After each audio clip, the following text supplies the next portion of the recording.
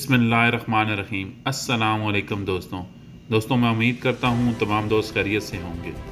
دوستوں، جیسے جیسے ورلڈ کپ قریب آ رہا ہے، آپ نے دیکھا ہوگا کہ انڈیا کے تیور بھی بدلتے جا رہے ہیں۔ آپ نے یہ دیکھا ہوگا کہ اس ٹائم پہ انڈین میڈیا جو ہے، وہ کھل کر جو ہے پاکستان کے خلاف بول رہا ہے۔ پاکستان کو ایک دہشت گرد ملک قرار دینے کے لیے وہ ایک کرکٹ کا سہارا لے رہا ہے۔ دوستو آپ نے اس سے پہلے بھی یہ دیکھا ہوگا کہ تقریباً دو منتھ سے لگاتار کوئی دن ایسا نہیں ہے کہ پاکستان کے خلاف ان کے چینل جو ہے وہ ہر روز جو ہے پاکستان کو دہشت گرد قرار دینے کی کوشش کر رہے ہیں۔ دوستو، یہاں پہ میں آپ کو بتاؤں کہ پاکستان کا میچ جو ہے وہ دو یا تین دن کے بعد شروع ہو رہا ہے۔ دوستو، یہاں پہ جو انڈین میڈیا ہے وہ اس لیے کوشش کر رہا ہے کہ تاکہ دنیا کی توجہ اس طرف دلائی جائے۔ دوستو، کچھ چینلز تو یہ کوشش کر رہے ہیں کہ پاکستان سے اگر ہمیں میچ نہ بھی کھیلنا پڑے تو ہمیں کوئی فرق نہیں پڑے گا اور ہم اپنے دو پوائنٹ جو ہیں وہ اس کو لوز کر سکتے ہیں۔ لیکن دوستو، یہ صرف ان کی باتیں ہیں۔ وہ پریکٹیکلی یہ آپ نے دیکھا ہوگا کہ پچھلے کئی سالوں سے یہ ہر دفعہ جب بھی پاکستان اور انڈیا کا میچ آتا ہے تو یہی حرکتیں کی جاتی ہیں۔ اور ان سے صرف اور صرف یہ ریٹنگ، میڈیا ریٹنگ کی جو ابھی دوڑ چل رہی ہے، اس میں کوشش کی جاتی ہے کہ نمبر ون آیا جائے۔ دوستوں ہم نے کئی دفعہ یہ جملہ سنا ہوگا کہ جو بھی سپورٹس ہے اس کو سیاست سے دور رکھا جائے۔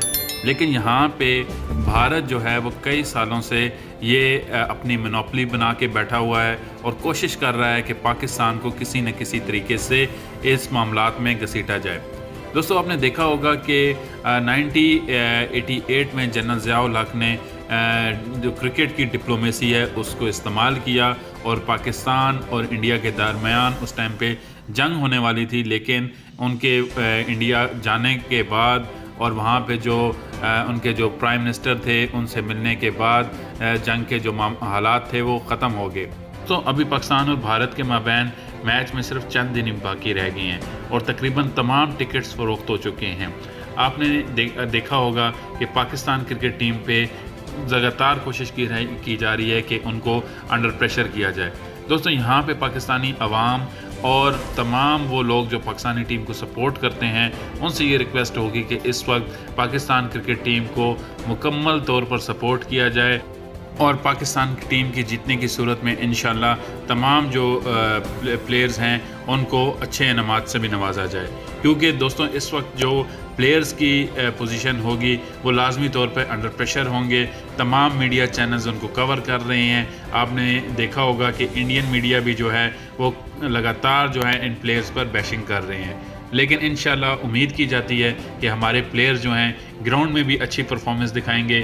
اور انڈیا کو اس دفعہ ورلڈ کپ میں بھی بیٹ کریں گے۔ دوستو، پاکستان اور انڈیا کے مابین میچ جو دو تین دن بعد ہونا ہے، انشاءاللہ اس کے بارے میں میں آپ کو گاہے بگاہے آگاہ کرتا رہوں گا اور آپ کے لیے نئی اپڈیٹ اور نئی ویڈیو کے ساتھ حاضر ہوں گا۔ دوستوں میں امید کرتا ہوں کہ یہ میری ویڈیو آپ کو اچھی لگی ہوگی۔